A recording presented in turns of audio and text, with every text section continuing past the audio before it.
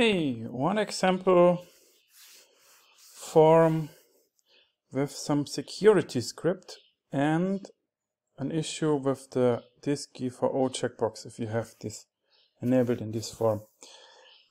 I would suggest you use this form only for transferring people who registered for the webinar.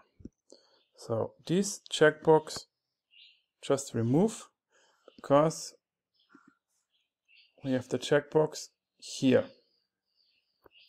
That should be enough. Yeah, so you don't have to map this. That's we don't send this value to the email marketing pro because we never know if it is one or, or zero or plus or yes or no what they hand over. So for me it was not working. So I was just saying, okay, here and make it required.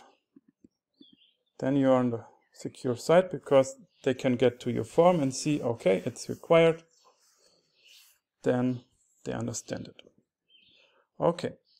And so let's go for the embedded code. Say first. So this is working for other also. So you have like something with div. That is like more like HTML. HTML, HTML, HTML, simple HTML. And here there comes the script. And that's the, the issue I want to show you in this video. Because here, when you add it, we are not executing the script. Because you click here once on set, and then we connect the fields and use this, and then just sending it to this. But we don't send any scripts. We don't do it. So you can remove the script here because it's not sent. I tried to do it here, add it with some custom hidden field. It wasn't working.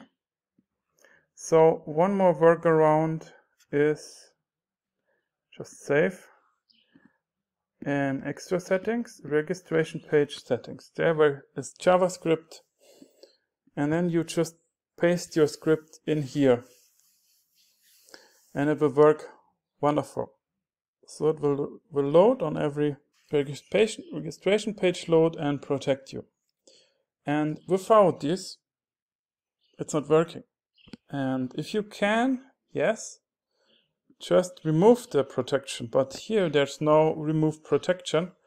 So this is not good. So you need to add the script.